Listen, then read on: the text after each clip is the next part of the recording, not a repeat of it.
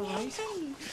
Oh. Fine, honey. I'm sorry I didn't get home last night, but I had all this paperwork to do after we brought Chucky in. Forget about him. You were hurt. Why didn't you tell me about I'm this fine. last I night? just took a little cuff on the chin. I didn't want to worry you. Then tell me about it now. You left our picnic for a drug bust. What happened? Um, the bus kind of found me. Excuse me? I had to help Eddie. You know, why didn't I see that coming? Damn it, honey, when are you going to let go of this kid?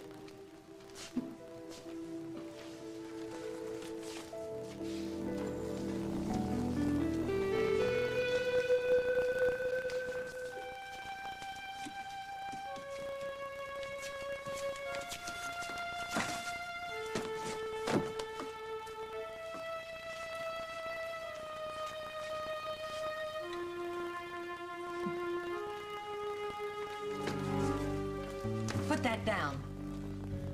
it's a good thing I stopped by. What are you planning to do? Strip the place bare? Lisa, I wasn't gonna steal your precious little indigo Oh, come on. Now, just, I said, put it down.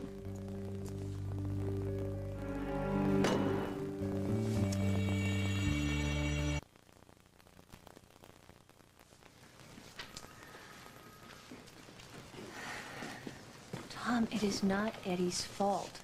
Chucky was Dina's dealer, and he was going after him. So Eddie called you? Well, no, his friend Georgia came and found me, and I responded like any other officer of the law would. You followed a drug dealer for the rest of the night. Is that how any other law officer would respond? All right, I admit it. I might have pushed the sting just a bit, but why would I want Eddie to get hurt again? Tom, Eddie saved my life last night. What? Yeah. The sting went south. Chucky knocked me out. He had a gun. I woke up. Eddie was there. Chucky was armed. Eddie had nothing. He was empty-handed, and he got in between, and he saved me from taking a bullet. Honey, you wouldn't have been there if it wasn't for Eddie.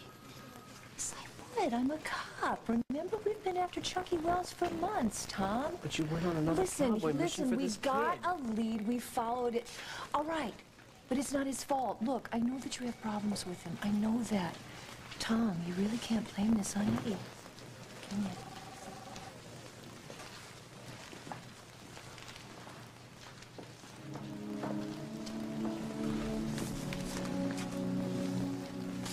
What?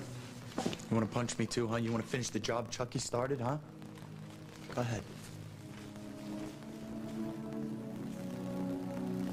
No, actually, I wanted to thank you for saving my wife's life.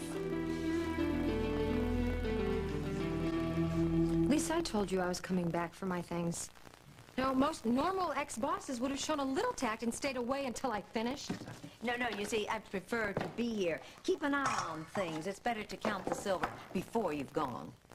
Actually, that's gold-plated, but I'm not taking it with me anyway. Nothing but Emmys from now on. I'm in a new business, you know? Yes, I know. I've heard. Really? That, that's odd. I didn't see it in the Argus that I was the new one-third owner of WOAK. Uh, well, you see, it's um, only big news to little people. Oh, really? Oh, well, then maybe you should consider changing the motto underneath your masthead to only the news Lisa likes to hear. Ah, you'd better not be so cocky. You know, I have already called Kim. I've told her she better watch out for you. She should not turn her back on you. Well, aren't you the little busybody?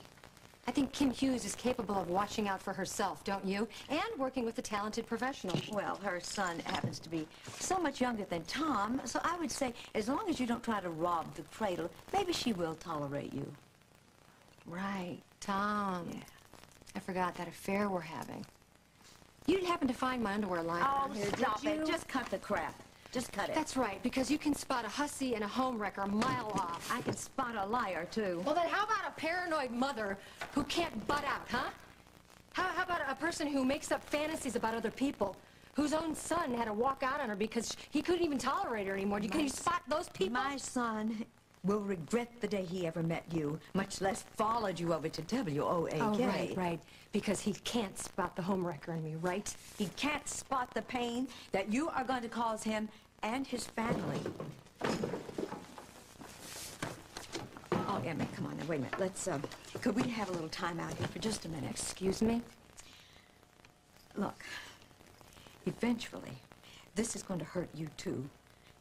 I, I know right now you think that you can just you can just go right ahead and, and you've got you're in charge of everything and, and life is going to be just the way you want it but it doesn't work out that way you see I have been in this position just like you and I know from experience it does not work So are we still dealing with my fantasies here? Your fantasies about me? What are you Look, Tom is going to Tom is going to find out one of these days that you've lied to him. If not even sooner, maybe his conscience will work on Can we stop this, guilty please? And All right, I get enough lectures from my own mother, and she never seems to get it right either.